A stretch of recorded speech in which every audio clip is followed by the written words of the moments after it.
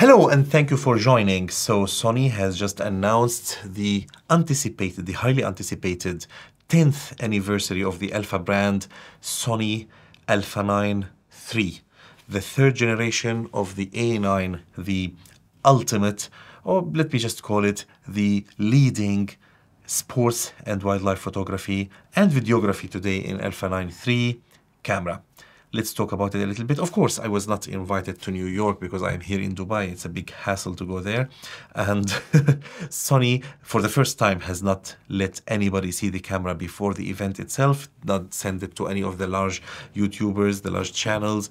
They invited everybody to the event and everybody saw the camera together. And I salute Sony for doing this because this is a disruptive camera and this is something new, uh, something different, something that is changing once again the um, uh, face of the imaging industry, the digital imaging industry. So uh, we were not there, but we, I watched the launch, I took some notes, and I will tell you all about it and my impressions on it as an Alpha 1 user. As we say on our Arabic channel, تابعونا.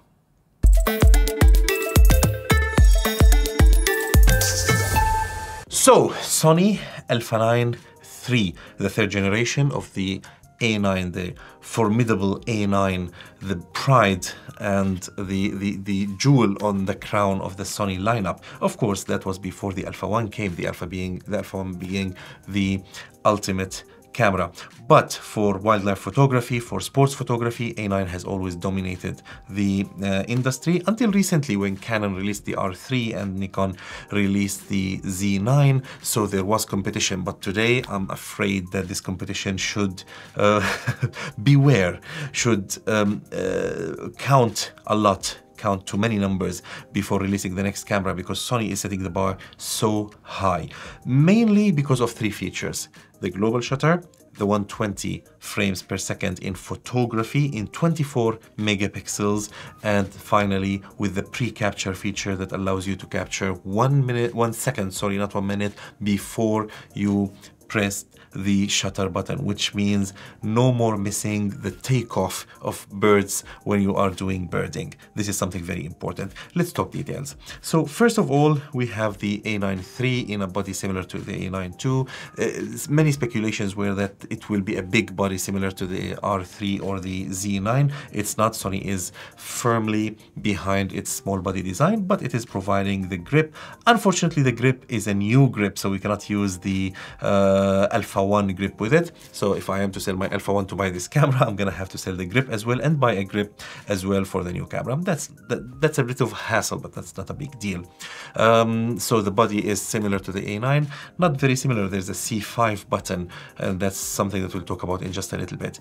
But nothing major changed in the body. We have the new dial for uh, photo, uh, video, and S&Q. This is a new since the A7 IV, and um, there are some bells and whistles here and there. The grip is a little bit better in ergonomics. Um, certain things that changed, but the general feel of the camera seems to have remained the same for the A9 series. Uh, but the sensor is quite different. It is 24 megapixel, 24.6 megapixel to be exact, but it is a new sensor and it is a global shutter sensor. For the first time in a full frame camera, the first time in the history of full frame cameras, we have a global shutter um, sensor. What does global shutter mean? Um, I mean, everybody from, um, on YouTube explained it since yesterday, and everybody knows that global shutter, everybody knows by now. I, I assume that global shutter means that the sensor is reading out simultaneously from every pixel out of the 24 million pixels that are present on that sensor. Every pixel is sending the signal immediately together in one go to the um, processor, which means no more rolling shutter. Rolling shutter means line by line, and it gave rise to the rolling shutter phenomenon that we know, especially with electronic shutters. So no more rolling shutter, it's a global shutter, which means no more need for mechanical shutter either, because mechanical shutters remained because of the phenomenon of the bending straight lines in the rolling shutter. So that's not a risk anymore. Uh, because of the global shutter. And this camera, as we can expect, does not have a mechanical shutter. It has an electronic shutter. And with this electronic shutter, it can burst crazy 120 pictures per second, 120 frames per second in photography in 24 megapixel. I mean, the Z9 did the 120, but it was 8 megapixels, reduced to 8 megapixels JPEG. Now we have 120. I'm not sure if it's JPEG or RAW. I assume it is JPEG because it's a very, very high frame rate, but 120 JPEGs per second is a lot. It's quite a lot. So because it is a lot, you don't want to keep it on all the time, but sometimes you're like shooting and suddenly something happens in front of you. A cheetah is trying to kill a gazelle or a bird is flying or something like this, and you now suddenly need the 120. What what has Sony done to, to make it easier for you? They added the C5, and with the C5 you can just press it and burst, and with this press, it's a very simple press, you will shoot 120 frames per second.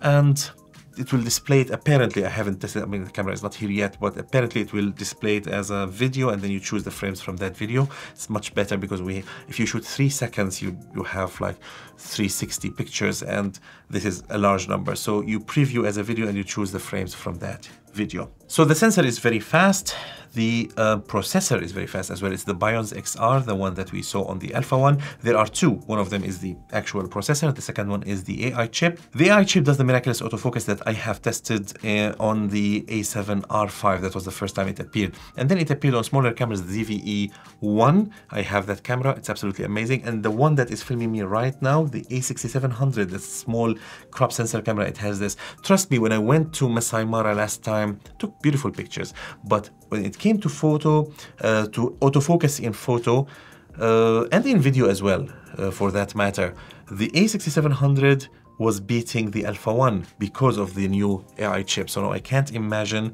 okay, this is like a $2,000 camera beating the Alpha 1, the formidable Alpha 1 in autofocus because of the AI chip. Now I can't imagine a 6000 A93. What would it do with this AI chip? I suppose it will be blazing fast, very accurate and very sticky. I'll test it when the camera comes here. The RAW files actually are 14-bit, which is amazing. Um, you can shoot up to 129 frames before the buffer buffers out. Um, some more features we have. Okay, I mentioned the the the um, pre-capture. Have I? The pre-capture means you capture one second before you press the button and that's just amazing but it's amazing double because it is pre-capture with autofocus. And this feature will uh, will change the lives of bird photographers in particular because you always miss the takeoff of the bird because of the delay between what you see and what you your muscle reaction to press. This delay is no longer important because it pre-captures one second before. One second at 20 frames per second the, what you would do for birding means 20 pictures before even you press the shutter button, which is amazing. That you'll get the takeoff, the exact takeoff um, uh, picture, which is like mind blowing.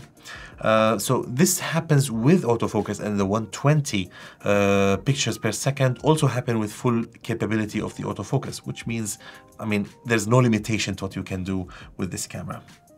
The shutter speed is also insane. The shutter speed is 1 over 80,000 of a second. So 80 thousandths of a second. This is this is crazy. This is I don't know what I'm going to do with that. this will turn day into night. Um, the tricky part is when you have such high speed in, in shutter, which will be like mind-blowing again in, in wildlife photography and uh, sports photography. So when you have this, you worry about the flash sync, but don't, because up to 1 over 16,000, you're having with burst shooting, continuous shooting, you're having full sync with flash without even, I mean, you don't have to worry about high speed sync, HSS or anything. Now this camera is syncing with the flash all the way up to 1 over 16,000 of a second. This is, this is crazy. This is mind-blowing.